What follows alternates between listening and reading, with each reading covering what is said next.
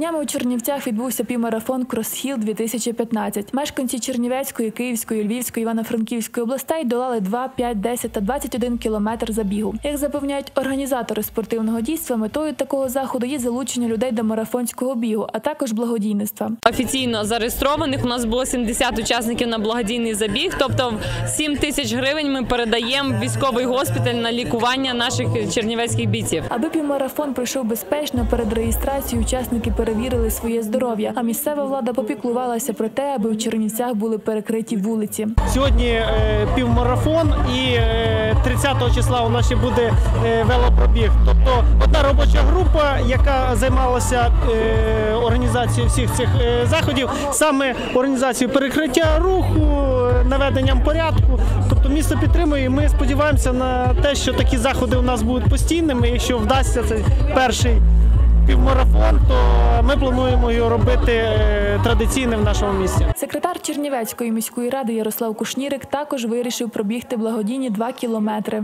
Я як мінімум на двохкілометровому е, маршруті буду. Е, Там побачимо зараз, хто ще вийде на старт. Бігаю на, на довгі дистанції не бігаю. Так, короткі просто. Я ж бігаю не для результату, я для себе бігаю.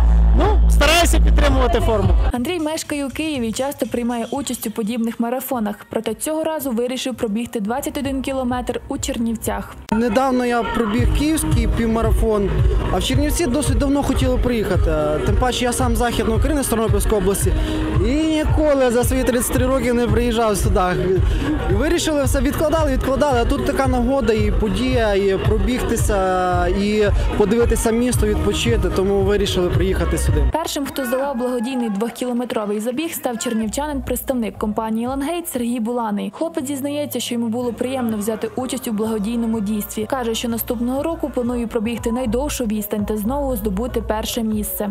Я дуже радий, що прийняв участь в цих змаганнях. Це біг миру. Гроші будуть віддані на допомогу людям, які потребують цієї допомоги. Журналіст каналу Чернівці ТВ Тетяна Таран також долучилася до благодійного забігу, який, до речі, у неї перший. Враження надзвичайні, купа драйву. Я вперше беру участь саме в спортивних змаганнях нашого міста, та й взагалі в спортивних змаганнях. Все життя я ну якби я не була такою активною спортсменкою. Останнім часом я почала бігати. Е, В Чернівцях от такий захід почався. Я вирішила долучитися, тим більше, що це е, має допомогти. Це був благодійний забіг. У мене 2 кілометри. Е, Збирають гроші на поранених е, в АТО. Буковинець Сергій Дуган першим здолав 21 кілометр. Чоловік щодня займається спортом, а 13 років присвятив себе легкій атлетиці. Свою перемогу присвячує місту та близьким, адже вважає, що саме рідні вулиці та найближчі люди допомогли здолати таку відстань. Рідне місто, рідні стіни, рідні вболівальники, рідні люди.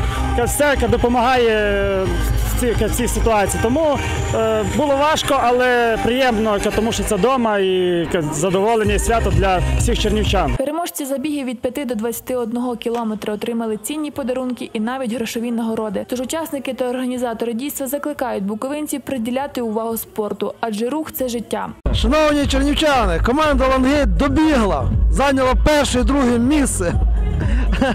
Бажаємо вам також долучатись до такого чудового свята. Лангейт! Простір можливостей! Бігайте, бігайте щодня, вранці, в обід, вечором. Бігайте на офіційних марафонах, е, півмарафонах, бігайте в своє задоволення. Давайте разом кооперуватися, групуватися і проводити такі свята бігу в Чернівцях. Організатори півмарафону впевнені, що в майбутньому у Чернівцях пройде марафон, до якого долучаться тисячі місцевих мешканців. Юлія Нікуляк, Василь Ставчанський, Чернівці ТВ.